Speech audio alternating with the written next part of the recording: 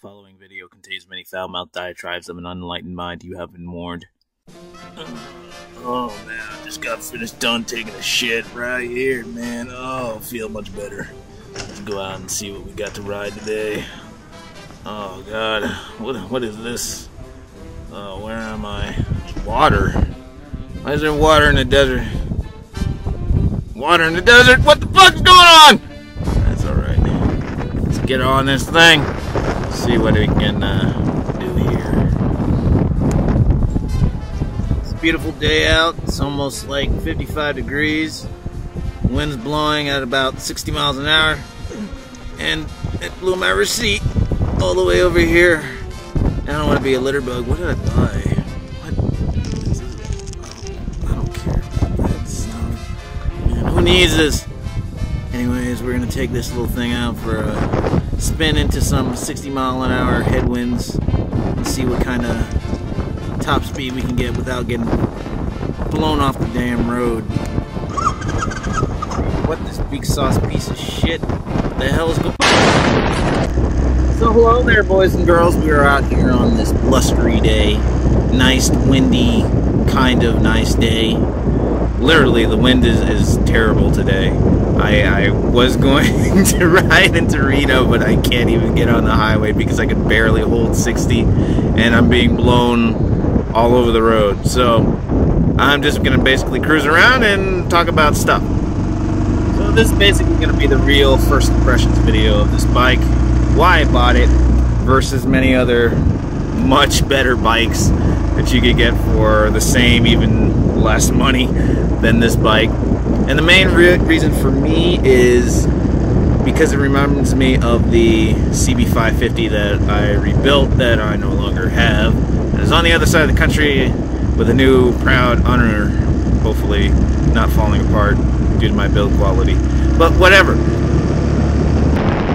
And that's even the same reason why it's in the same colors as that other bike. That bike was gray and chrome as well because I basically stripped off all the paint right down to the bare metal and clear coated it.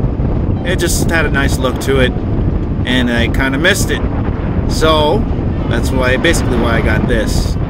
I could have gotten the Rebel 500. I sat on it. It was a bit too low for me. Out here, I can take this on some of these fire roads and whatnot, these gravel roads, and I'll be fine because the height clearance on this bike is a little bit higher than the Rebel 500. Of course, the Rebel 500 will do 100 uh, easily, but this bike's top speed, probably once it's broken in, probably be maybe 80 downhill, but that is fine. I can cruise at 70, and I usually don't ride faster than that on the highway just because of the winds out here. Um, it's it's kind of not nice. We're gonna pull over here and take a look at it. A little bit of that beautiful analog cluster.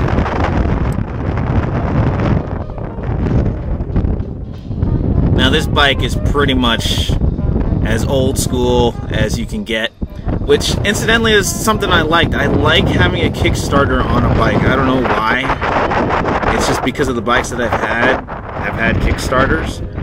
Um, I'm also partial to cruisers because I've pretty much only had cruisers. To say that I haven't ridden sport bikes, it's just that I think I've overcome my need for speed, and I know myself too well.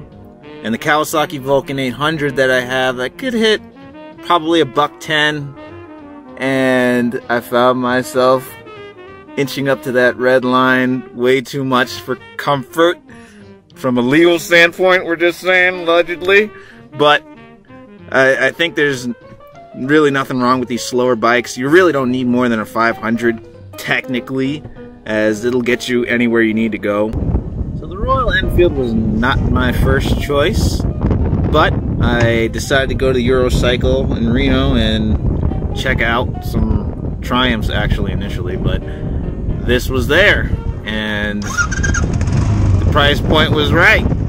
So it kind of worked out.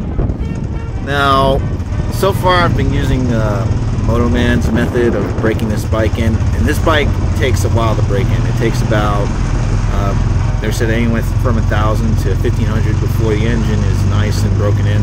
This has uh, one of those UCE engines. It's not the same engine as the previous bikes. I think they switched them in like maybe 2010 to this new version that has the uh, fuel injection.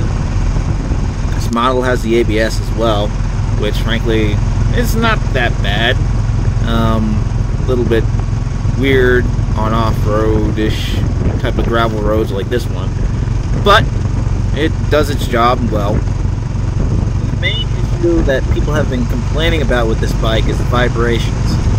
Now, this bike so far I'm at 200 some odd miles in has dropped a lot uh, from first sitting on it riding away at the dealership. Basically, I think you have to follow Motoman's method with this bike and run it hard because if you do low revs, it never really seems to get that high rev range smoothness that it has now.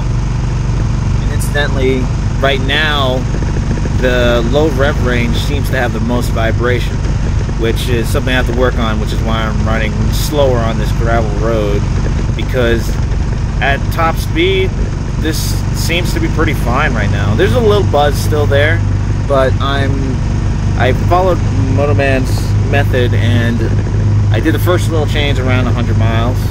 So right now I am running some pretty crappy semi-synthetic oil in this thing.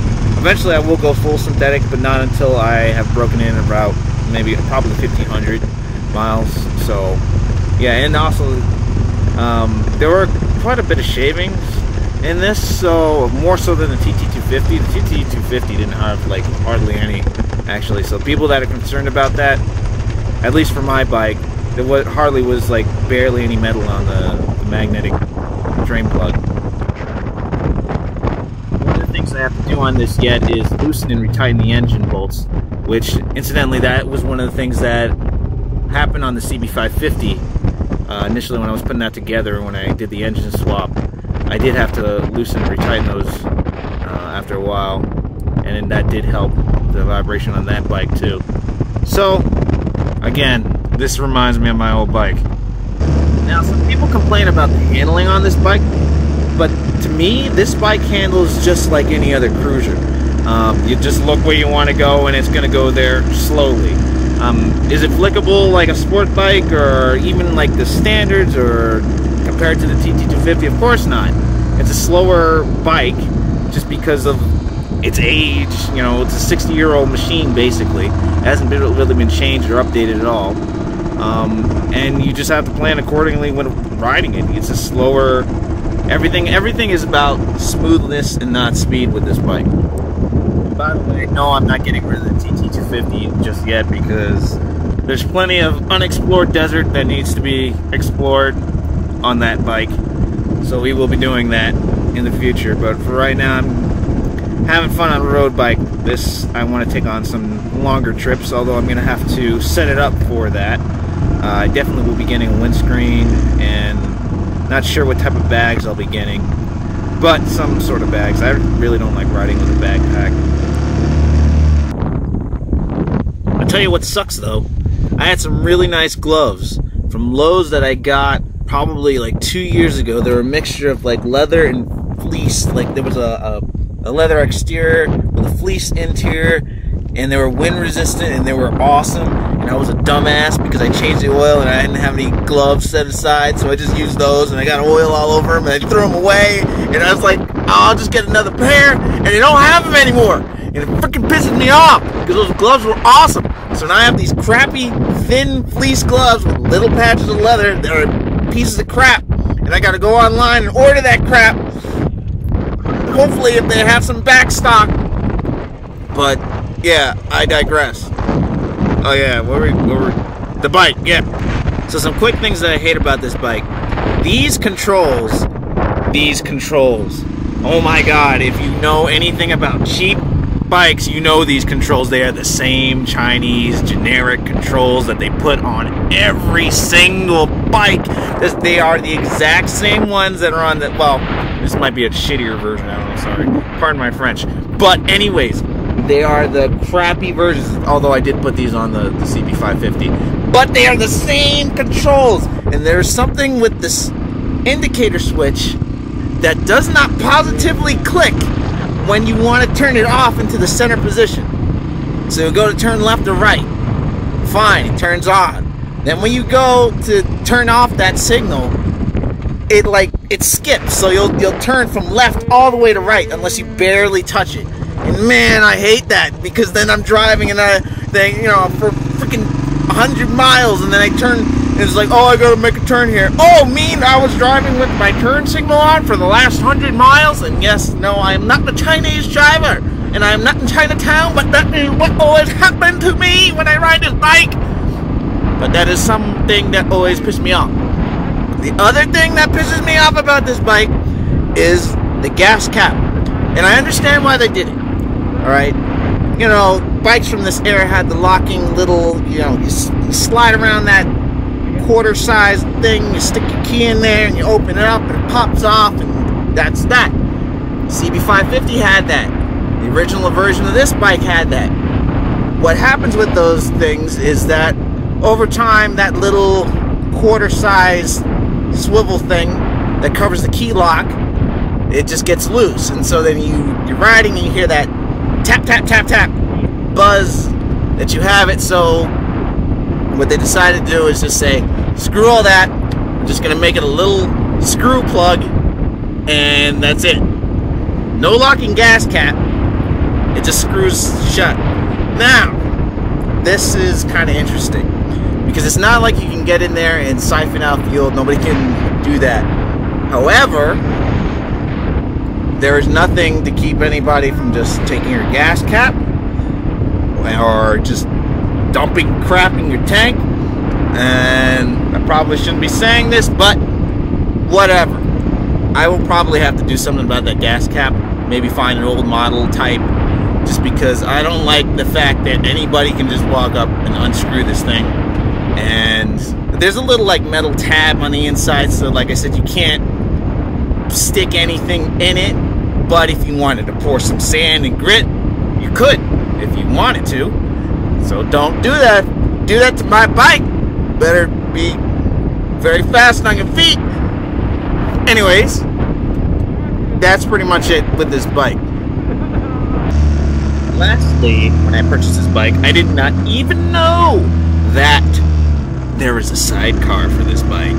Yes, ladies and gentlemen, there is a sidecar that is a thing that will happen in the distant future. But keep your eye out for that. Um, also, there's some pretty good uh, off-road tires I can put on this, which might be another thing. We'll see. Anyways, thanks for watching. I shall see you in the future. And don't forget, my children, lean into the wind with all your might. It was death to drop fifth and third just to keep up at a highway speed. This wind, fuck is this shit?